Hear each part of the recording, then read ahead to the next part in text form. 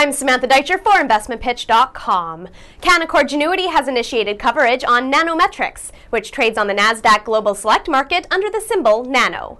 Analyst Josh Baribeau gives the company a buy recommendation and a $20 target price, a 35% premium to the $14.84 price at the time the report was issued.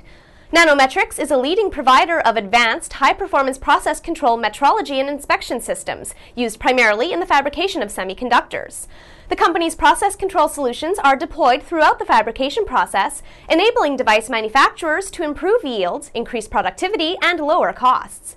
They have an extensive installed base of more than 6,500 systems in more than 150 production factories worldwide, including the largest semiconductor and process equipment manufacturers. Baribeau stated, Nanometrics benefits from both the cyclical rebound in overall semiconductor spending, as well as the secular trend of increased capital intensity for process control in advanced semiconductor nodes.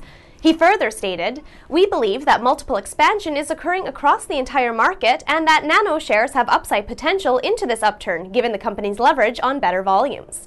Nanometrics currently trades at $15.50 and with 23 million shares outstanding is capitalized at $356 million.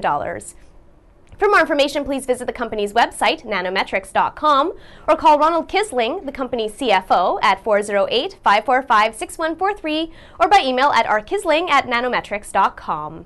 The company's investor relations are handled by Claire McAdams of Headgate Partners. She can be reached at 530 265 9899 or by email at claire at headgatepartners.com.